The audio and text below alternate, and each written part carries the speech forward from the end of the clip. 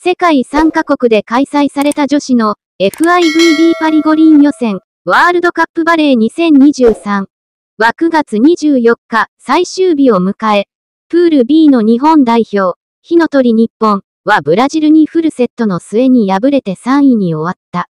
この結果、トルコとブラジルが五輪出場を決め、6大会連続出場を目指す日本の本大会行きはお預けとなった。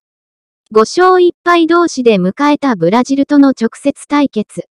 勝者が五輪切符をつかむという大一番は、最後まで目の離せない熱戦となった。第1セットを落とすものの、続く第2セットを奪い返した日本は、第3セットで先に王手をかけられるも、第4セットで石川、林、井上らの奮闘で粘り強くフルセットへ持ち込んだ。しかし、最終第5セットはブラジルに底力を見せつけられ15-10でゲームセット。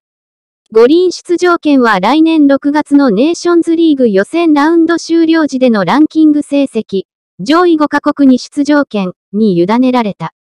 悔しい結果となってしまった日本代表だが、ロッカールームには関係者への感謝の気持ちが綴られていた。日本バレーボール協会の公式インスタグラムは、ロッカールームに選手たちのメッセージが残されていました。ファンの皆様、最後まで熱い応援をありがとうございました。大会運営にご協力いただいた方々もありがとうございました。バレーボール女子日本代表に引き続きご注目ください。と綴り、代表チームからの感謝の言葉と全選手のサインが記されたホワイトボードの画像を公開している。ホワイトボードには、日本開催最高でした。たくさんの応援ありがとうございました。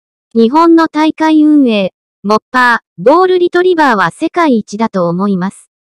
次は私たちが世界一を目指します。本当にありがとうございました、と綴られていた。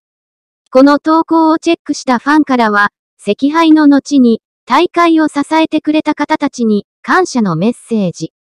なんて素晴らしいチームなんでしょう。負けてはしまいましたが、とても良い試合でいいパフォーマンス。いっぱい感動しました。感動をありがとう。興奮して、感動して、楽しい一週間でした。